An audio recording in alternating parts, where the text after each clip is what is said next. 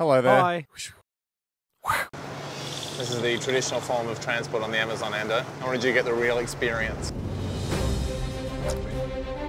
As Lee scores another quick point, Blake takes an early lead. Between us and the lunch is Death Road. Oh, jeez. Still good to race? No.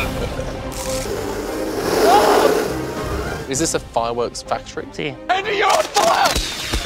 Here's the drop. It's on target. Go! I'm just gonna let you guys know this is gonna be a dangerous kitchen expedition. I'm the king of the pasta! I've dipped my stick right into Mother Earth and she is burning. Lasagna transfer! I have the lasagna!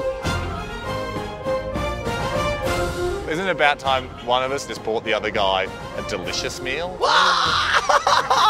Got a massive bull's ball. Fuzz, fuzz, fuzz! Get off it! I tried, mate. Get down! Police shoot you! No surrender! He throws out the don't argue and takes the lead.